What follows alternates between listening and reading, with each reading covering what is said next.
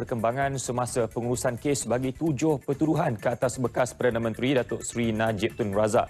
Bermula pukul 9.30 minit pagi tadi di Mahkamah Tinggi Jenayah 3 Kuala Lumpur, prosiding itu dijalankan di hadapan Hakim Muhammad Nazlan Muhammad Ghazali. Dan untuk perkembangan lanjut, kita terus bersama wartawan Farhana Azwani Ismail. Baik, silakan Farhana. Baik, uh, terima kasih uh, Faris. Uh, saya kini berada di hadapan Mahkamah Tinggi Jenayah 3 di mana prosiding yang bermula pukul 9.30 pagi tadi masih lagi berlangsung sehingga sekarang. Difahamkan hari ini dijangka Hakim Muhammad Nazlan Muhammad Ghazali akan menetapkan tarikh dan juga tempoh perbicaraan bagi tujuh pertuduhan terhadap bekas Perdana Menteri Datuk Seri Najib Tun Razak.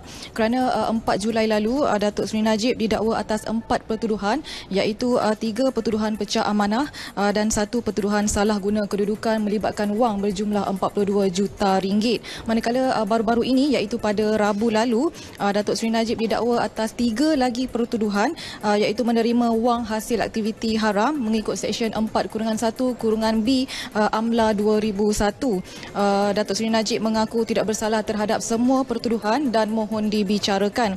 Untuk makluman Datuk Seri Najib tiba di Mahkamah Kuala Lumpur pada pukul 8.50 pagi tadi diiringi dua orang anaknya iaitu uh, Norena Najwa dan juga Nor Rashman. Manakala uh, segelintir uh, penyokong Datuk Seri Najib turut kelihatan uh, di perkarangan mahkamah uh, sejak pukul 8.30 pagi tadi.